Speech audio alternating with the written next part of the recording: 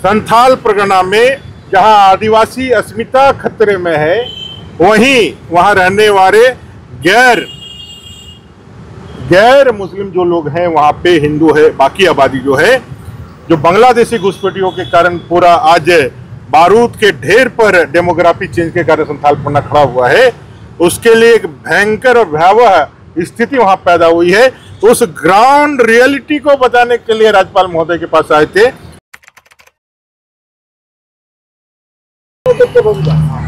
सत्रह तारीख को पाकुड़ में घटना घटित हुई थी, गोपीनाथपुर में। जिस तरह से बांग्लादेशी घुसपैठियों ने पहले तो प्रतिबंधित गौ मांस जो झारखंड में प्रतिबंधित है पहले गौ हत्या वहाँ की, और जब वहाँ रहने वाले लोगों ने, झारखंड के नागरिकों ने उसका विरोध किया तो पश्चिम बंगाल जो सटा हुआ है, एक अंदर उसके दोनों का सीमांकन तय होता है एक छोटी सी नदी से, नहर से। तो ये जा करके यहाँ के बांग्लादेशी घुसपैठी जो इधर घर बना के रखे हैं, उन लोगों ने जाके वहाँ पश्चिम बंगाल का मुर्शिदाबाद जिला पड़ता है, जंगीपुर लोकसभा पड़ता है और कृष्णानगर क्षेत्र है। वहाँ से सैकड़ों लोग झारखंड घुस करके लोगों के घरों को तोड़ करके, बमबाजी करके, पत्थरबाजी करके, गाड़ियाँ जला करके, उनके घर को लूट करके इतना दहशत फैलाते हैं, इतना मारते हैं कि पुलिस की पूरी छावनी आ जाती है। उसके बाद भी अपने सीमांकन से पश्चिम बंगाल पुलिस की उपस्थिति में वो लगातार पुलिस को भी ललकारते हैं कि भाई हम आपको देख लेंगे। एक बड़ी आबादी जो दो दिन से असुरक्षा में थी, लगातार कह रही थी कि हमारे जान माल की रक्षा हो, लेकिन प्रशासन, सरकार सरकार की तरफ़ से कोई कदम नहीं उठाया गया। एसपी, डीसी ने वहाँ कम से कम शांति स्थापित की झारखंड की तरफ़ से। लेकिन सरकार की तरफ़ से चूँकि अंतर्राज्यीय मामला था, इसलिए जो कार्रवाई उस पर इमिडिएट होनी चाहिए थी, उधर जो रिएक्शन होना चाहिए था, नहीं हो पाया। पश्चिम बंगाल के पुलिस की उपस्थिति में वो लोग हुड़दंग करते रहे, लोगों को डराते, धमकाते रहे और बंदूक और बम चलाते रहे।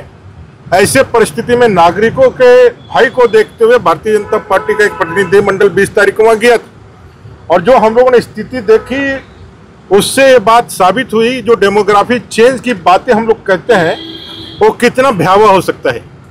जिस ज़मीन पर वो पुरखों से रहते थे आज वही लोग हिंदू लोग कह रहे हैं कि हमको यहाँ से कहीं दूसरी जगह ले जाइए। ये सब हमको जीने नहीं देगा। अगर पुलिस हट जाती है तो कहते हैं कि पुलिस कितने दिन आपको जीवन बचाएगी?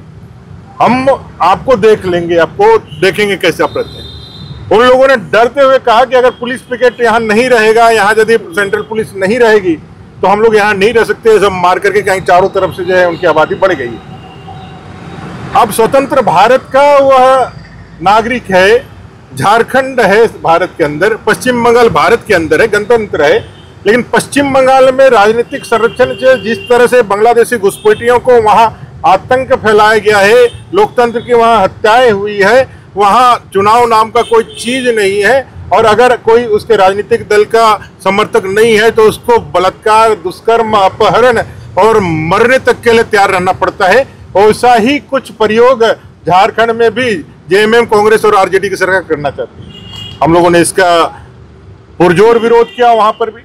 नागरिकों को भी कहा कि आप मर जाना स्वीकार कीजिए, लेकिन यहाँ से जाना नहीं स्वीकार क्योंकि कहे आप भागेंगे तो कितना दूर भागेंगे? ये तो इसी तरह से आपको, आपके ज़मीन को आपको लूटते हुए चले जाएँगे। और इस पूरे मामले पर ना मुख्यमंत्री एक शब्द कहते हैं, ना आप लोगों के लिए अभी एक नई नेता आई हैं, कल्पना सोरेन जी, वो कुछ कहती है।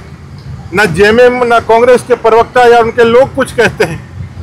पूरी तरह से संथाल परगना में, जहाँ आदिवासी अस्मिता खतरे में है, वहीं वहाँ रहने वाले गैर गैर मुस्लिम जो लोग हैं, वहाँ पे हिंदू है, बाकी आबादी जो है, जो बांग्लादेशी घुसपैठियों के कारण पूरा आज बारूद के ढेर पर डेमोग्राफी चेंज के कारण संथाल पन्ना खड़ा हुआ है, उसके लिए एक भयंकर और भयावह स्थिति वहाँ पैदा हुई है। तो उस ग्राउंड रियलिटी को बताने के लिए राज्यपाल महोदय के पास आए थे और आप लोगों से भी, रांची के तमाम पत्रकार महोदय से मैं ये आग्रह करना चाहता हूँ कि इस विषय को आप वहाँ जा करके देखेंगे, तब पता चलेगा कि उस स्थिति क्या है। और ये कितना बड़ा थ्रेट है नेशनल सिक्योरिटी के साथ भी और इस झारखंड सहित पूरे देश के डेमोग्राफी चेंज होने से आदिवासी सहित यहाँ के झारखंडियों के अस्तित्व के साथ। राज्य सरकार से आपको उम्मीद नहीं है? केंद्र सरकार से हस्तक्षेप की मांग करेंगे? मैंने हम सब लोगों ने राज्यपाल महोदय से कहा है कि इस विषय को आप संज्ञान में लेकर केंद्र और राज्य की सेतु के रूप में आप काम करते हैं आप उसको करें। हम लोगों ने वहाँ जाकर के आप लोगों के माध्यम से राज्य सरकार का ध्यान आकृष्ट करने का भी काम किया था पेपर और बाकी माध्यमों से उन तक मैसेज भी किया है।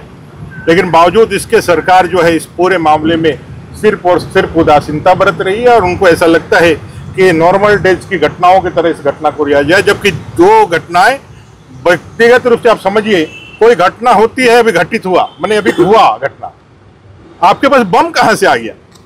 पत्थर कहाँ से आ गया? इमीडिएट आप प्लान करके तीन, चार दिन के बाद करते हैं, तब को समझ में आता है। इसका मतलब है, ये बांग्लादेशी घुसपैठिए 24 घंटे सातों दिन तैयार रहते हैं, बम हथियार के साथ कि हमको जब ज़रूरत पड़े तब हम इसको करने के लिए तैयार हैं।